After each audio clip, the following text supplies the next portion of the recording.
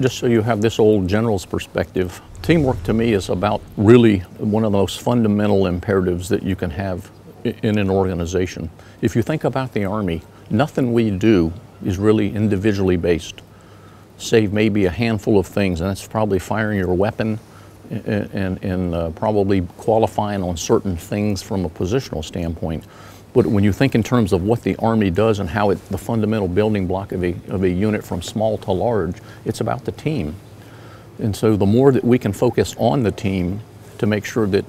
really, when you think about it, no warriors left behind, the warrior ethos and the whole process of that, I, I just think it's so important. And every organization that you've been in, whether you're a sergeant, a specialist, or a master sergeant, or a general, I think you can focus back on those teams that you've been with that can say, wow,